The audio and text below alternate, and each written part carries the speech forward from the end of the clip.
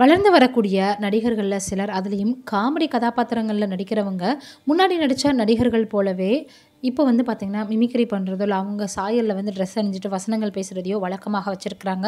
அப்படி தான் வந்து பார்த்திங்கன்னா நடிகர் சிவாஜி கணேசன் அவர்களை பற்றி வந்து ஒருத்தர் வந்து அதே மாதிரியான இதில் நடிச்சிருக்கிறாரு. அதை பார்த்துட்டு அவருடைய மகனான மற்றும் நடிகருமான பிரபு அவர்கள் வந்து பார்த்திங்கன்னா கோபமடைஞ்சு அவங்களுக்கே நேராக ஃபோன் பண்ணி பேசியிருக்கிறாராம் அப்படி நடித்தது யார்? அவர் யாரிடம் பேசினார்? என்ன பேசினாருன்றதை பார்க்கலாம். நடிகர் திலகம் சிவாஜி கணேசன் அவர்கள் வந்து யாராலையும் வந்து அவரை பார்த்து நடிக்க முடியாது அப்படின்னு கேள்விப்பட்டிருக்கிறோம். ஆனால் இப்போல்லாம் வந்து பார்த்திங்கன்னா மூத்த நடிகர்களை கிண்டல் செய்து அது மட்டும் இல்லாமல் அவங்கள மாதிரி வந்து நடிக்கிறது ரொம்பவே வழக்கமாக போயிட்டுருக்கு.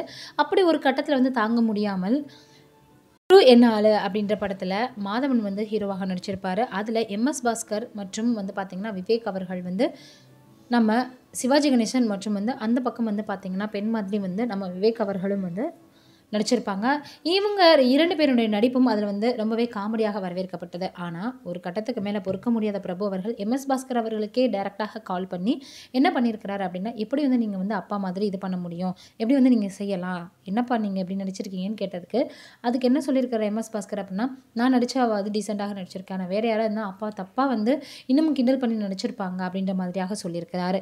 இதை கேட்டு என்னதான் சமாதானப்படுத்துகிற மாதிரி இருந்தால் கூட பிரபு அவர்களுக்கு கோபம் தீரவே இல்லையா இப்போ அடுத்து இது ஒரு புறம் இருக்குது இன்னொரு புறம் என்ன அப்படின்னு வந்து பார்த்தா இப்போ குக் வித் கோமாளியில் ரொம்பவே வந்து பிரபலமாக போயிட்டுருக்கு அந்த ரியாலிட்டி ஷோ அப்படின்றது நம்ம எல்லாருக்குமே தெரியும். அதில் புகழ் அப்படின்றவர் ரொம்ப வந்து இப்போது மக்களிடையே வந்து வரவேற்கக்கூடிய ஒரு ஆளாக இருக்கிறாரு.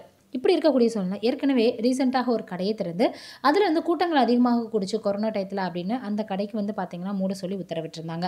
அதே மாதிரியாக தான் இப்போ திருநெல்வேலி பக்கத்தில் ஒரு கடைக்கு போயிருக்காரு. அங்கேயும் ரசிகர்கள் கூட்டம் அலைமோத அதே மாதிரியான ஒரு வழிமுறையை இப்பையும் பின்பற்றியிருக்கிறாங்க இதனால் ரசிகர்கள் ரொம்ப வருத்தத்தில் இருக்கிறாங்களாம் உண்மையிலேயே கோவிடோட விழிப்புணர்வுன்றதே நம்மளை காப்பாற்றுக்கிறதுக்காக தான் பாதுகாத்துக்கிறதுக்காக தான் ஆனால் அதை வந்து புரிஞ்சுக்காம மக்களும் சரி ரசிகர்களும் சரி இப்படி மாதிரி செஞ்சால் அது எல்லோருமே பாதிக்குமே அப்படின்றத ஏன் எல்லோருக்கும் தெரிய மாட்டேங்குது அப்படின்னு தான் நினைக்க தோணுது.